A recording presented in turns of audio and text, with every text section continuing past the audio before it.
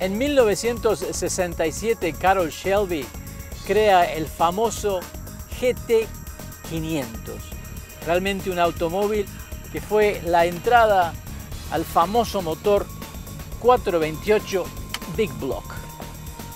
Y ahora nos vinimos a Las Vegas con el camarógrafo Luis Fernández. ¿Para qué? Para probar nada más y nada menos que el 2020 Ford Mustang GT500. Realmente dos, un ícono y uno que se convertirá, tal vez, en el Mustang más potente de toda su historia. La ciudad de Las Vegas se caracteriza por toda esa picardía que tiene el individuo, pero también aquí hay un autódromo, Las Vegas Motor Speedway, y vamos a poner a prueba los 760 caballos que tiene este V8, que realmente han hablado mucho de él, pero vamos a tener que ponerlo en la pista para ver cómo reacciona y cómo se siente.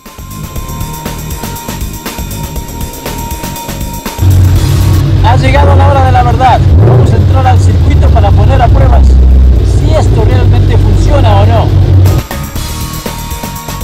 Realmente es increíble que esto sea un Mustang.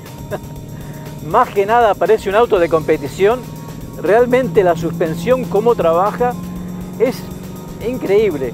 Y lo dócil que era en la calle, eh, el poder combinar un automóvil que actúe tan bien, tan ágil y tan agarrado en la pista, por supuesto tiene el compromiso de ser muy duro en la calle, pero la verdad que lo, lo manejamos en la calle y se sentía muy suave, muy muy lindo para manejar. La potencia muy lineal, sube las potencias muy muy... Este supercargador realmente le da mucha mucha fuerza, a pesar de que pierde 100 caballos con solamente hacer girar el cargador. Pero los frenos, ah, sí, parecen frenos de GT3. Realmente los caliperes de 16 pulgadas y medio hacen un trabajo impresionante.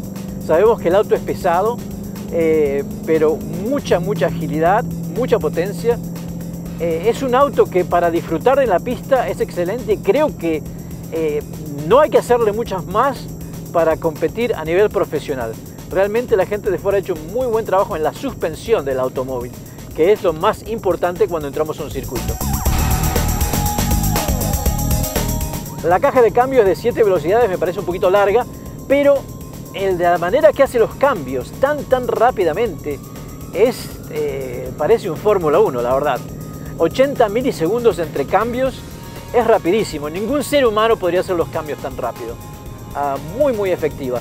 La diferencia de vuelta solamente de 500 revoluciones de un cambio al otro mantiene la potencia del motor y las 695 libras de par motor se sienten especialmente en la salida. Muy muy lindo.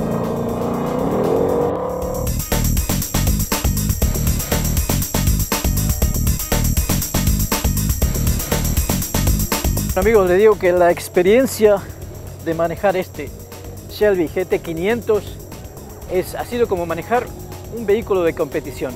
Realmente muy, pero muy, muy lindo.